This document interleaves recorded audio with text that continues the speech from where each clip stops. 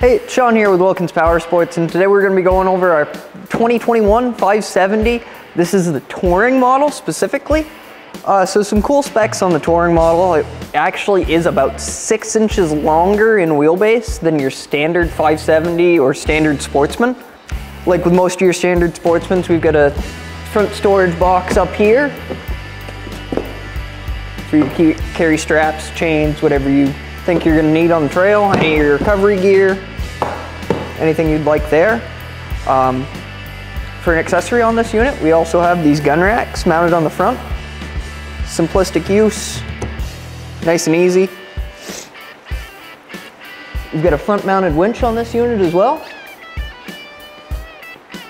with our nice handlebar controlled switch.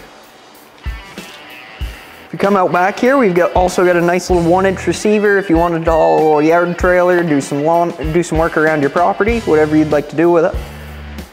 Got some rear view mirrors here too, make it a little more user friendly. So this unit would really be the most useful for anybody who's looking to get out, do some property maintenance, maybe uh, entry level trail riding, you've got a passenger you want to bring with you, or maybe you just want to be comfortable when you stop, have a little bit of extra room to spread out um, get comfortable on your machine.